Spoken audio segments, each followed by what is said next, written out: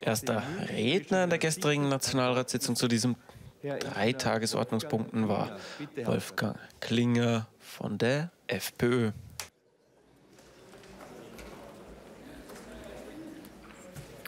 Sehr geehrter Herr Präsident, Herr Minister, geschätzte Kolleginnen und Kollegen, die Zuhörer und Zuseher,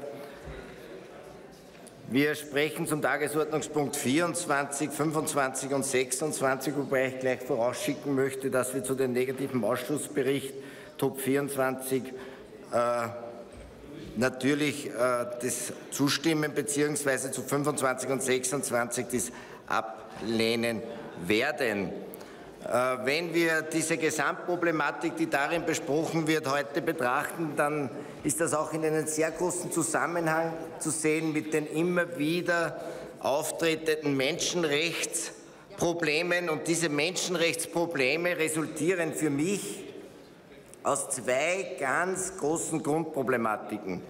Nämlich erstens, dass wir auf dieser Welt in den armen Regionen eine ganz gewaltige Überbevölkerung haben und zweitens, dass diese arme Überbevölkerung zum Teil schändlichst ausgenützt wird und ihnen Versprechungen gemacht werden, die niemand auf dieser Welt einhalten kann. Man braucht sich nur die Entwicklungen anzusehen von Afghanistan über Afrika, Libyen. Das ist eine traurige Geschichte in unserem jetzigen Zeitbereich. Und ich bin da beim Kollegen Matznetter wieder mal, der gestern gesagt hat, in 20 Jahren werden unsere Kinder nicht mehr darüber sprechen, dass jemand aus Syrien zu uns gekommen ist.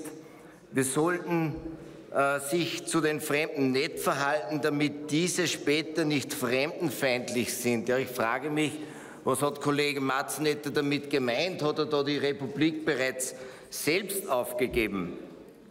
Ich muss eines dazu sagen, es wird, und das habe ich auch in der Fragestunde den Herrn Innenminister gefragt, ob er dafür einstehen kann, dass die Grundwerte, die Verfassungsrechte, die Staatsgrundgesetze eingehalten werden müssen, um hier in Österreich dauernd eine Bleibe zu bekommen, oder ob es darüber hinaus eine Möglichkeit gibt, diese Staatsgrundgesetze zu unterwandern. Und ich bin der Meinung, dass wir hier in Österreich einer ganz großen Gefährdung entgegengehen.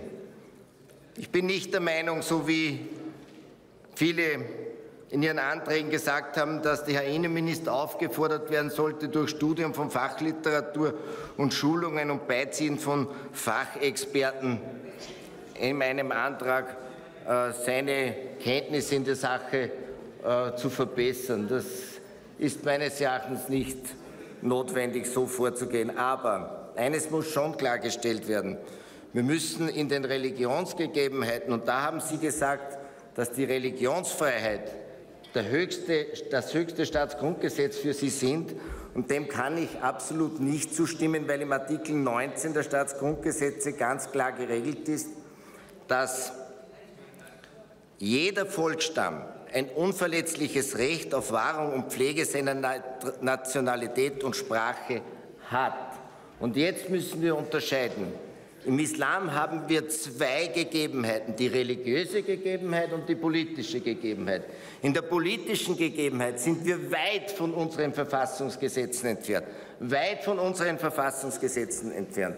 Und wir müssen da aufpassen, dass jene extremen Muslime, die nicht bereit sind, unsere Verfassungsgesetze einzuhalten, nicht auch noch die Staatsbürgerschaft bekommen.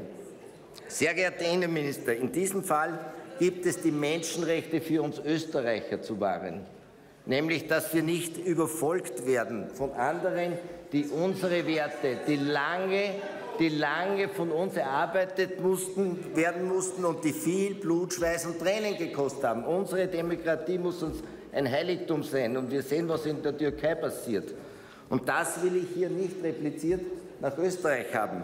Und wenn wir hier nicht wirklich Handlungen setzen, die dazu angetan sind, dann glaube ich, wird in Zukunft mein Spruch nimmer gelten, der da heißt, Heimat ist dort, wo ich zu Hause bin und dort, wo ich zu Hause bin, soll auch meine Heimat bleiben.